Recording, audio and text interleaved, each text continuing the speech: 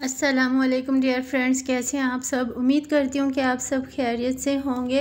आज हम एक बहुत ही शानदार होटल पे गए और होटल से टिक्का कबाब और शामी कबाब लिए। ये देखें, होटल वाले से हम पैसे रिसीव कर रहे हैं। हमने इनको जो पेमेंट दी थी और उनका बकाया इन्होंने हमें दिया है। उसके बाद हम यहाँ पे आ जाते हैं।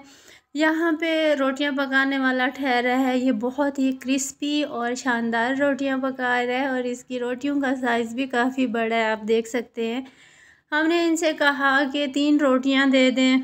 तो ये पहले हमसे पूछता है कि आपने कितनी रोटियाँ लेनी है? हमने कहा तीन और हम तीन बंदे हैं, एक आदम और में।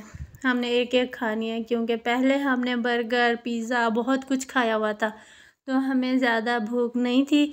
इसको हमने कहा, हमें फ़्रेश फ़्रेश ताज़ा ताज़ा तीन रोटियाँ लगा के दें। तो ये देखें, इन्होंने हमें शॉपर में पैक करके दे दी है।